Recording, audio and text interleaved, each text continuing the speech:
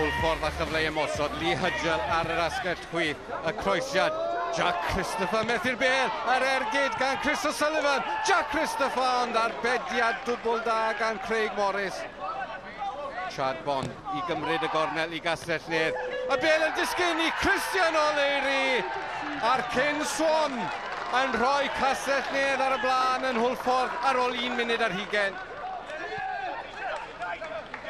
Chris Jones Bill Thomas yn rhoi rwydd hynt iddo fe, basio i gyfeiriad Craig Hughes, camgymeriad gan Itzi, a Hughes yn gwbl wastraffus.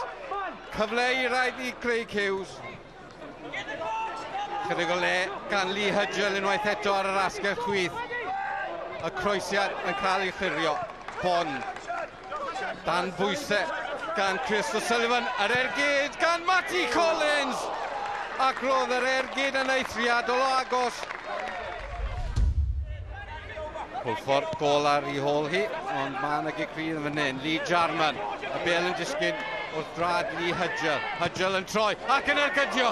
Mi roedd na wriad o ymdrech lew gan Lee Hydgel.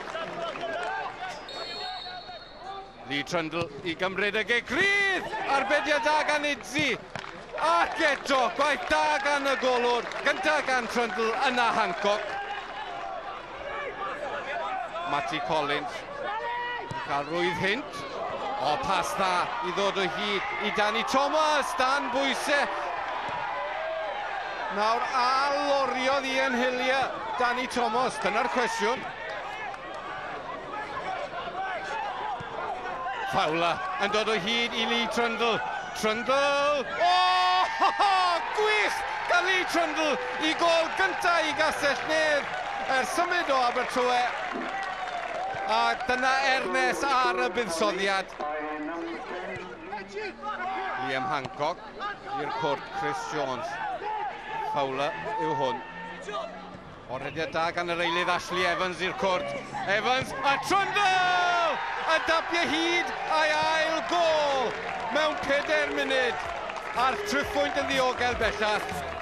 When you move to a new club, it's um, important as a striker to get off and, and get yourself a goal early doors. So I'm pleased that I got two today. It does take time to gel.